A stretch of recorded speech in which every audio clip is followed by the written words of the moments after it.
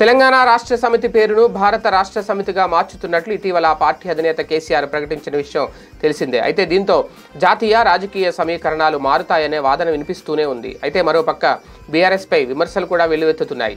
ఈ నేపథ్యంలో తాజాగా బీజేపీ రాష్ట్ర ప్రధాన కార్యదర్శి విష్ణువర్ధన్ రెడ్డి మాట్లాడుతూ దేశంలో కేఏ పాల్ పార్టీకి కేసీఆర్ పార్టీకి తేడా లేదంటూ ఆయన ఎద్దేవా చేశారు.